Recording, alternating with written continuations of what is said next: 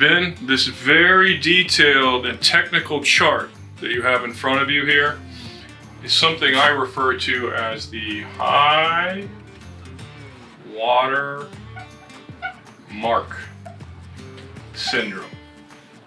Right? What happens to people is they invest some money. Let's say they invest in January. And they put in $100,000 and the year comes and you know we go through the year and some highs and some lows.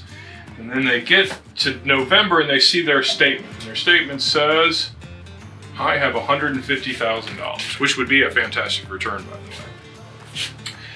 But then their December statement rolls around and they have 140 grand.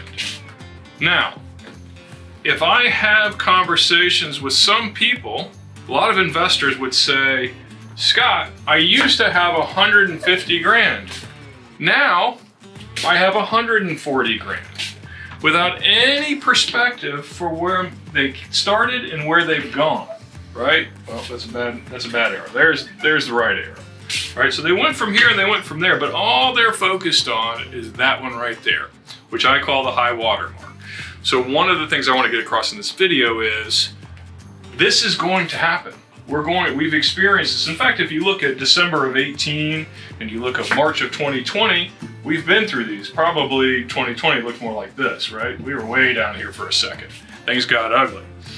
My point in, in doing this quick video with this highly technical chart that I've drawn here is to point out that this is going to happen to you. But don't forget, over the last decade, we've done basically nothing but up with a few interruptions. So if you had, again, using 100,000 as an example, and over the last decade it's grown to be 300 grand, which again, is fabulous. And then you wake up in August of this year and now it's 280.